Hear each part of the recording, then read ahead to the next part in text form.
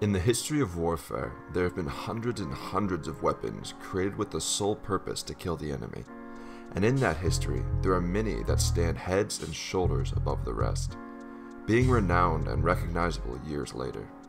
Today's video is about one such weapon, once referred to by General George S. Patton in World War II as the greatest battle implement ever devised, and highly, highly regarded by every soldier that carried it onto the battlefield. That weapon is of course the M1 Garand, which we are going to refer to as the M1 throughout the rest of the video. Let's delve into this weapon, from its inception to its combat usage and its lasting legacy in modern days. The history of the M1 Garand started far before the Second World War, where it originally was heavily used and garnered its reputation. It started with the Army's interest in semi-automatic rifles at the turn of the century. At this time, the primary standard issue rifle of armies around the world were bolt-action rifles, such as the Springfield or the famous Mauser 98. These rifles had the obvious drawback of a slow fire rate and small reserve ammo store.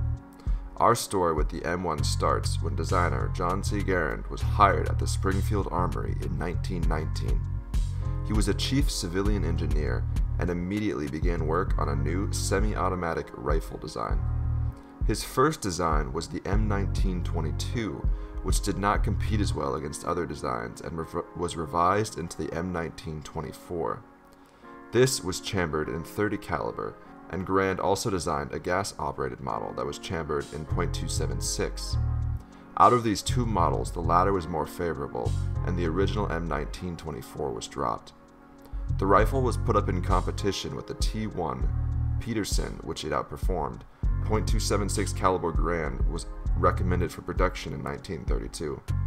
Garand, however, was still testing his 30 caliber model, and soon after the recommendation for the .276, he successfully retested it, and the Secretary of War and Army Chief of Staff, General Douglas MacArthur, ordered that the 30 caliber version be the main focus instead of the .276. In 1933, it was designated as the semi-automatic rifle caliber 30 M1 and would be standardized by January 9, 1936, with production cleared for July 21, 1937. As mentioned earlier, the M1 is chambered in .3006 or 30 caliber, with a very unique 8-round block clip design that is inserted into the top of the gun. This is one of the most iconic features of the gun, with the sound of an empty clip ejecting almost creating its own legend in popular culture. With a muzzle velocity of around 2800 FPS and an effective range out to 500 yards, it is clear why it was beloved. It weighs around 10 pounds and is gas operated with a fire rate of 16 to 24 rounds per minute, of course depending on how quick the user could reload.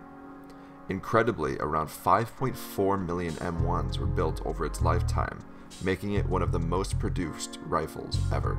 Now really quick, I want to analyze a couple things that tend to be misunderstood about the M1. For starters, many people are familiar with the gun due to video games, where it appears from Call of Duty to Battlefield and numerous others. Chances are, if you've played a video game, you've used this weapon. One misconception these games tend to give off is that these weapons are highly customizable, or were customized during the war. This is not true. They were called standard issue for a reason. They are the standard base rifles. There were, however, some attachments that could be used with this rifle, such as a bayonet, which was common, or the M7 grenade launcher barrel attachment. Alongside this, there are some stories of soldiers customizing their own weapons with features such as an adjustment to allow it to fire in full auto. Another thing that is still oddly thought to be true it's tough is that getting the gun could places not like be this. reloaded until all never eight be shots sure where their snipers are placed. This is also We it false, slow, as it is possible to load both single easy. cartridges into a partially expended clip, or eject a partially expended clip. The M1 was first used in combat in the Second World War, where it built up its legendary reputation. Now, during the Second World War, the vast majority of armies and countries outfitted their soldiers with bolt action rifles as standard issue. Rifles like the Enfield or the Mauser 1895 or the Arisaka. Most of these bolt action rifles had a standard 5 rounds before needing to be reloaded, with a fire rate that paled in comparison to the M1. This gave the United States Army a huge advantage once it entered the war, as its soldiers were outfitted with the best rifle on the battlefield. While many other armies did have semi automatic rifles, none were standard issue for infantry. With the M1 as the driving force, the American forces helped push through Stronghold Europe and through the island hopping campaign in the Pacific. During the early 1950s and the Korean War, the United States Army was still using the M1 as its standard rifle. Production was still happening until the late 1950s when it ceased. It served the US forces well in the Korean War, and throughout the 50s and even later, surplus M1s were provided to US allies like South Korea, West Germany, Italy, Japan, and more. By the onset of the Vietnam War in 1963, there were still some M1s that saw service. However, by now the next generation had arrived with the M14's adoption in 1958, being a very similar gun with many, many improvements. The M1 was now gasping its last breath, but would remain in service with the National Guard, Army Reserve, and Navy until the early 1970s.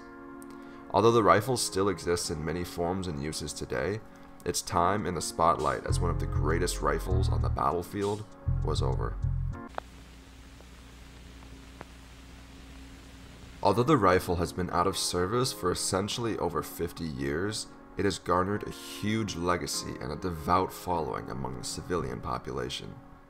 As I mentioned earlier, the rise in gaming has been one of the larger proponents of this, as now the rifle was exposed not just to history buffs, but also to millions of gamers who got their hands on it.